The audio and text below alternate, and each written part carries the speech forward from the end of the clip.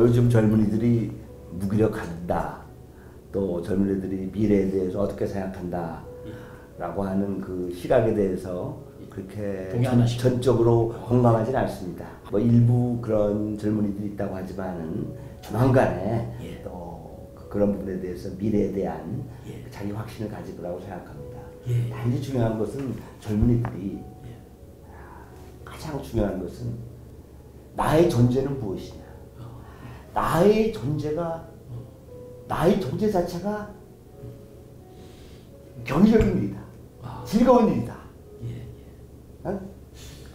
라고 하는 긍정적인 사고, 적극적 사고를 더욱더 많이 가져야 돼. 예. 예. 그래서 나의 미래는 내가 개척할 수 있다.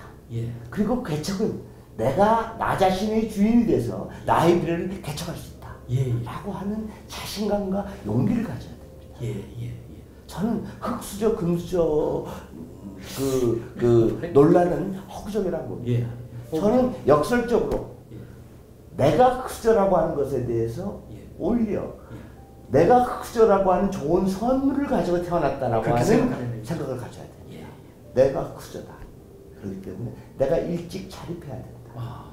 내가 다른 사람한테 의존하지 않는다. 예. 내가 일찍부터 나의 가치를 더욱더 예. 소중하게 만들겠다. 예. 그러기 위해서 내가 더 부지런하고 예. 남들에게 친절하고 예. 또 내가 앞으로 취해야 될 목표에 대해서 더욱더 배신하겠다. 라고 하는 기회가 나한테 주어지는 것이다. 나한테 오히려 좋은 선물이다. 아, 예. 내가 유혹하고 금수저라고 하면 그럴 생각을 언제 하겠느냐. 맞습니다. 라고 하는 긍정적 사고, 예. 개척자적 사고, 예. 적극적 사고.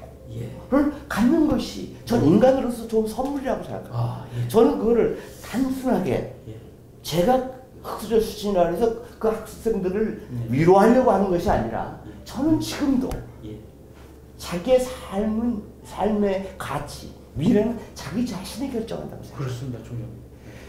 자기 자신의 가장 중요한 백은 예. 자기 아버지, 엄마, 자기의 출신 성분이 아니라 자기 자신이라고 생각합니다. 자기 자신이죠. 저는 매일매일 예.